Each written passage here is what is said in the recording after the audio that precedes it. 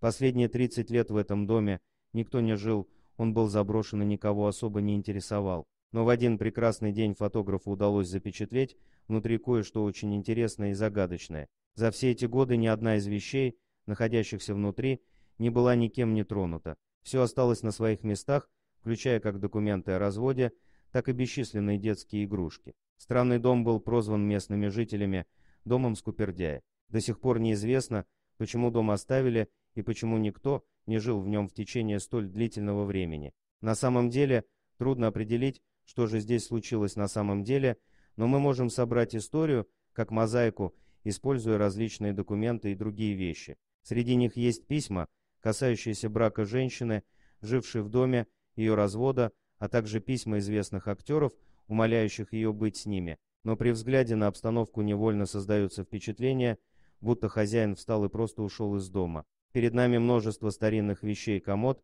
подносы разные предметы, сделанные из очень старого железа. Но больше всего вопросов возникает при взгляде на фотографии детей, которые жили здесь много лет назад. Гостиная представляет собой прекрасный пример художественного декора. Здесь и золотые шторы 1950-х годов, и три лампы вокруг интересного дивана, и даже плакат Элвиса на стене.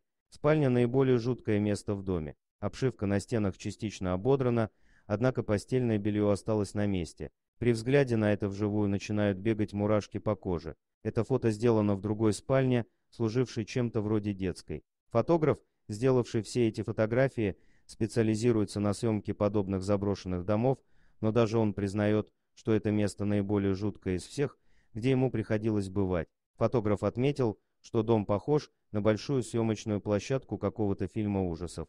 Глядя на все это, начинает казаться, будто здесь все нереально. Вдобавок ко всему, жутко становится не только от обстановки внутри дома, но и от слухов о различных странных вещах, которые происходят то здесь, то неподалеку от дома.